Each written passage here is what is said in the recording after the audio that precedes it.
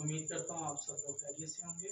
जो स्टूडेंट्स आज के लेक्चर में हम हेड्स ऑफ़ अकाउंट्स के हवाले से डिस्कस करेंगे, ताकि आपको न्यूमेरिकल्स करते वक्त किसी भी किस्म की परेशानी का सामना ना करना पड़े। जो स्टूडेंट्स हमारे जो हैं, वो हेड्स ऑफ़ अकाउंट्स पाँच तरह के एक एसेट है, दूसरा लाइबिलिटीज है तीसरा एक्सपेंस है चौथा इनकम है और पांचवा ऑनर्स इक्विटी है। अब हमारे एसेट्स में कौन कौन सी चीज़ें आएँगी? कैश ये वो कैश है जो कि आपके अपने बिज़नेस के लॉकर में पड़ा है। बैंक ये वो कैश है जो कि आपने बैंक में जमा करवाया अकाउंट रिसीवेबल के बारे में हम पहले से पढ़ चुके हैं। इन्वेंट्री के बारे में भी पढ़ चुके हैं। सप्लाईज के हवाले से भी पढ़ चुके हैं। एक्रूड इनकम्स एक्रूड इनकम से मुराद ये स्टूडेंट्स वो आमदनी होती हैं, जिसकी हमने खिदमत तो पहुँचा दी हैं, लेकिन अभी उसका मुआवजा वसूल करना बाकी हो उन्हें हम एक्रूड इनकम्स का नाम देते हैं। इसको तफसीला हम इंशाल्लाह जब इसका चैप्टर आएगा तो उसमें डिस्कस करेंगे एडजस्टमेंट में। प्रीपेड एक्सपेंसेस पहले से अदा शुदा अखराज होते हैं।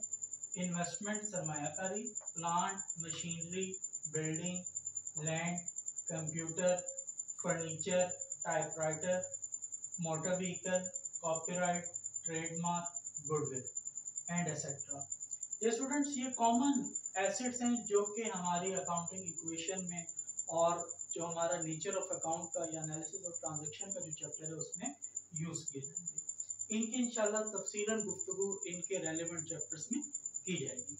लाइब्रेटीज कौन सी होती हैं? लाइब्रेटीज में अकाउंट्स पेबल पहले से पढ़ चुके हैं। बैंक ओवरड्राफ्ट डियर स्टूडेंट जब कस्टमर अपने बैंक अकाउंट में मौजूद रकम से जायद रकम निकलवाए तो उसे हम बैंक ओवरड्राफ्ट का नाम देते हैं और ये शॉर्ट टर्म लोन कहलाता है, जिसके ऊपर बैंक इंटरेस्ट चार्ज करता है। बैंक लोन एक्रूड एक्सपेंसेस वो अखराज जिनकी एडवांस में जिसकी हमने खदमात ले ली हों, लेकिन अभी उसकी रकम अदा करना बाकी उन्हें एक्रूड एक्सपेंसेस का नाम देते हैं। अन इनकम से मुराद वो आमदनी होती है, जो कि हमने एडवांस में वसूल तो कर लिया लेकिन अभी उसकी खिदमत पहुंचाना बाकी है, उसे हम एक अन इनकम कहते हैं।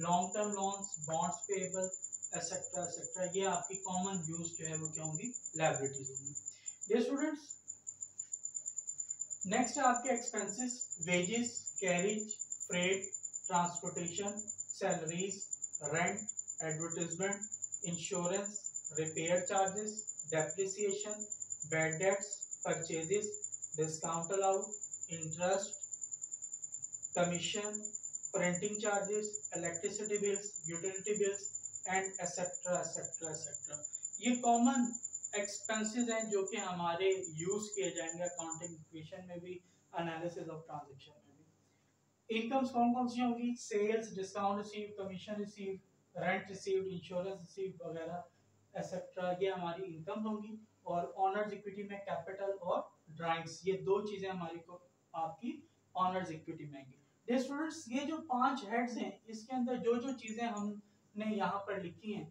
ये हमारे न्यूमेरिकल करते वक्त हमारे लिए बहुत ही सपोर्टिव जो है वो साबित होंगी। और जब ये हमें याद होंगी तो हमें न्यूमेरिकल करना हमारे लिए आसान होगा। तो वहाँ पर हम मुख्तलिफ़ किस्म की जो ट्रांजेक्शन करेंगे, उनमें कुछ ट्रांजेक्शन हमारी एसेट से रिलेटेड होगी, कुछ लाइबिलिटी से रिलेटेड होगी, कुछ एक्सपेंसेस से, कुछ इनकम से और कुछ ऑनर्स इक्विटी से।